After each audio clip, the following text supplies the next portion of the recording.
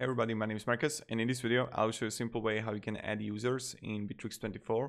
So what you want to do is when you're gonna Bitrix24, you just want to simply go on left side right here and you're gonna see here invite users. Now you can like invite using link, invite using email.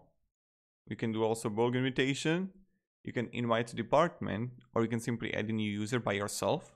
It's like really up to you and then you can like when you're gonna have the invite using link you just share it with someone and they just register for it and you're good to go. So this is pretty much it how you do it. If you have any questions guys ask me down in the comments. I'll really happy to help you. And yep. So again you go to the left side invite users. Have a great day and goodbye. See ya